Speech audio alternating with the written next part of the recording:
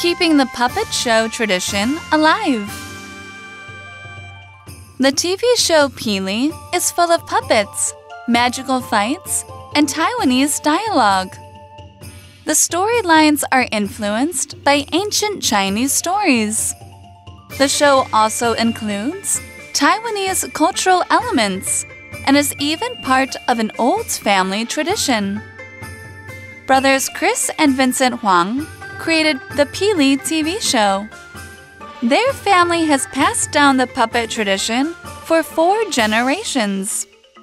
Their grandfather, Master Huang Haidai, is even considered a national treasure for his puppet shows. Chris and Vincent wanted to bring this art to a bigger audience through TV. Thus, the brothers created Pili in 1985.